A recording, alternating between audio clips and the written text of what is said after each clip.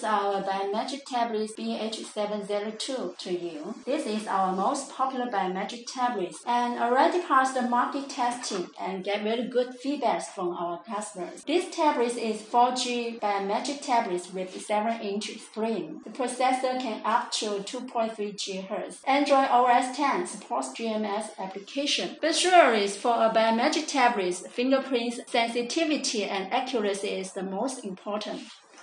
This is the is fingerprint sensor, which is developed also by ourselves. I will show you the fingerprint scanner function. Put my fingerprint here, fingerprint here, and get image. You can you can find the speed is very faster, and this picture is very clear. For this uh, tablet, its internal storage and mem memories can up can support 4 GB plus 64 GB. You can store many, many uh, data inside. The camera is also can up to 8 megapixel and 16 megapixel.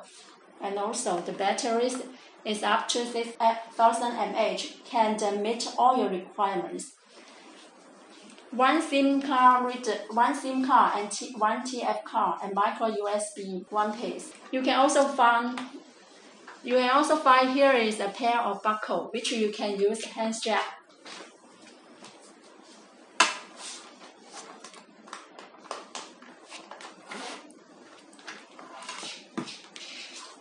For the out for the case, here have four pads uh, protecting from the dropping. These tablets can be used for time attendance, biometric enrollment, and data capture on the go, and also remote ID card insurance. Or you can define your own software by yourself. HYF is ready to work with you.